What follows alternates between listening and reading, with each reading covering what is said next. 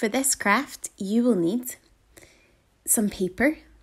If you have different colours, we're going to be cutting out seven different things so you can get seven different colours, or you could use white paper and colour them in separately. You also need a paper plate or a circle of card, pen or pencil, and scissors. You might also need some staples or sellotape.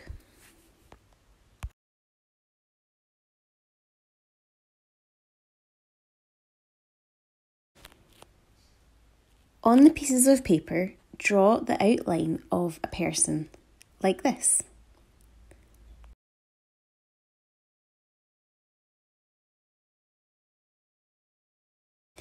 Then cut out each of the people. You need seven little people shapes.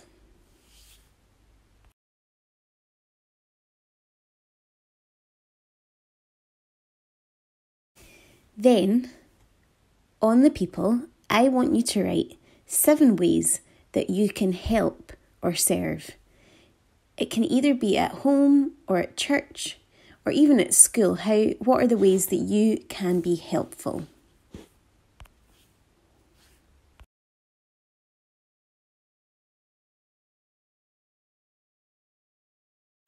Then, in the middle of the plate, we're going to write this week's memory verse, which is 1 Corinthians 12 4 and 5.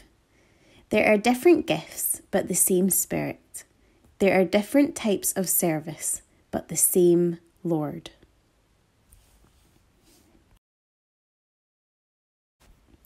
Then you can stick or staple your people round the edge of your plate, just as you can see in this picture.